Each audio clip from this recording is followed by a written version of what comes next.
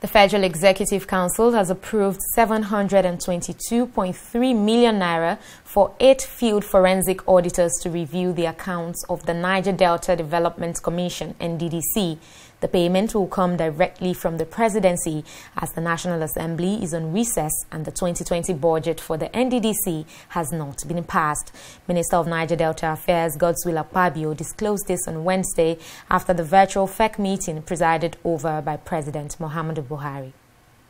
August 21st, uh, 2019, we discovered there was no budget for the NDDC for the year 2019 uh, up to that September. So we submitted two budgets in November to the National Assembly.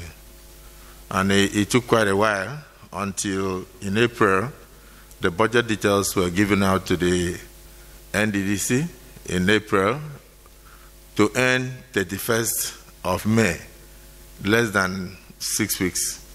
And so there was a provision of 1.25 billion in the in the budget of the 2019 for for the forensic audit exercise. So basically, what delayed it was the absence of budget, not the absence of the will. And then, of course, uh, unfortunately, the National Assembly is right now on leave, and the budget of the NDDC for 2020 has not been passed.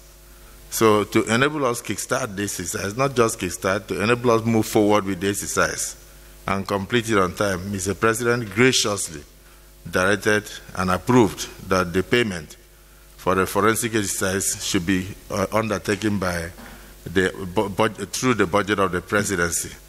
And so the first uh, amount that was approved for the lead forensic auditors was about 380 million.